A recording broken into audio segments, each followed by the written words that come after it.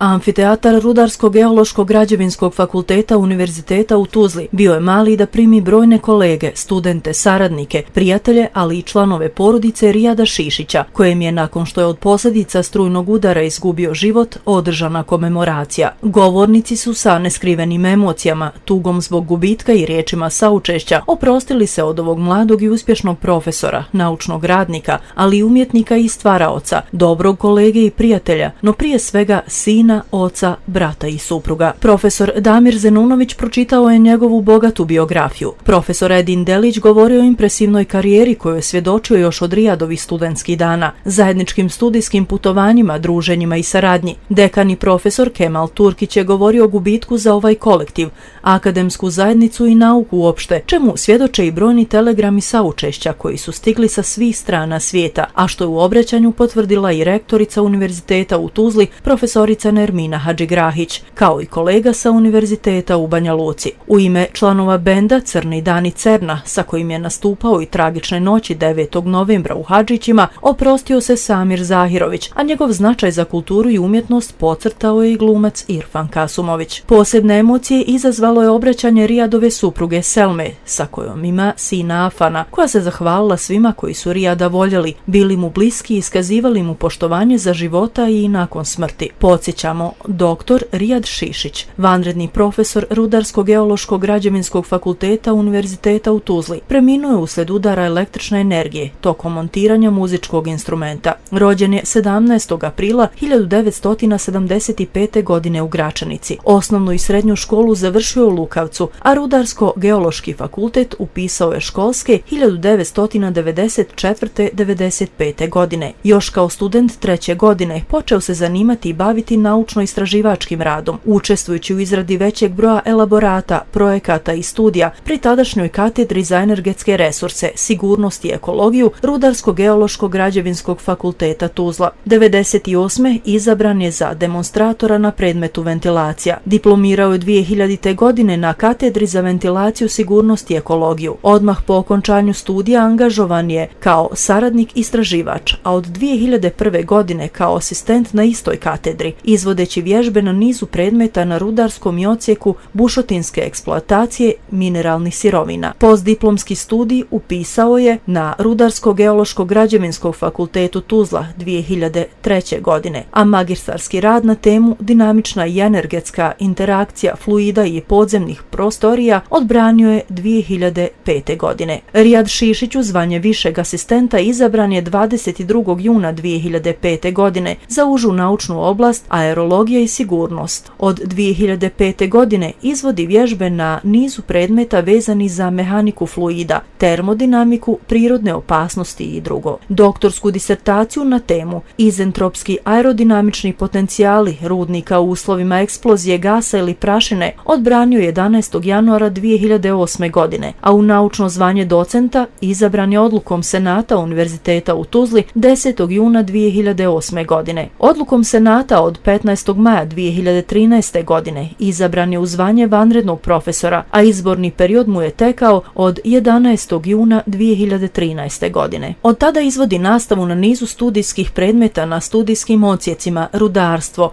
BMS, sigurnost i pomoć. Pored obaveza u nastavi, učestvuje u izradi niza domaćih i međunarodnih projekata, elaborata i izvještaja. Ista bi NATO Science for Peace, Demos projekat 2009-2014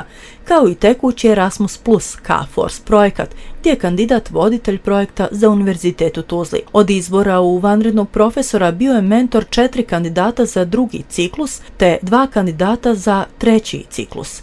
Obavio je više studijskih i specijalističkih boravaka na naučno-istraživačkim institucijama u inostranstvu, kao i nekoliko gostujućih predavanja i objavio više desetina naučnih radova. Velika ljubav mu je bila muzika, svirao je gitaru i bavio se izrađivanjem ovog instrumenta.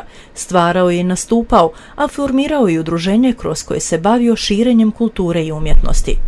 Rijad Šišić nas je iznenada napustio u 45. godini života, ali je ostavio trajne uspomene i neizbrisiv trag u životima svih koji su ga poznavali. Ukop će biti obavljen 13. novembra u Gračanici, a ispraća je u 14 sati ispred Gračaničke šarene džamije.